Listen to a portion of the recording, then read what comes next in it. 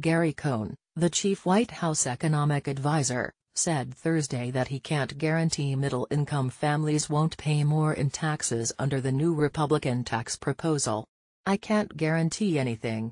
You can always find a unique family somewhere, Cohn told ABC's George Stephanopoulos in an interview that aired Thursday morning. Cohn said the tax proposal was purely aimed at middle-class families.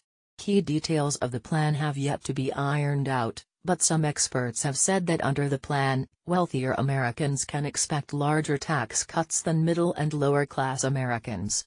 A New York Times assessment of the tax plan concluded that President Donald Trump would likely have his taxes slashed, while lower-income Americans who don't pay federal income tax would not see any benefits, and some middle-class families could actually see their taxes increase. Cohn initially seemed to dodge a question about whether he could guarantee Trump would not benefit financially from his tax plan. George, when we've looked at the tax plan and we've looked at what it does for Americans, we are very confident that Americans are getting a great deal here, Cohn said. We have designed a tax plan that is a stimulant for the economy where we are giving tax cuts to middle and lower class Americans. After Stephanopoulos pressed Cohn, the economic advisor then insisted, the wealthy are not getting a tax cut under our plan.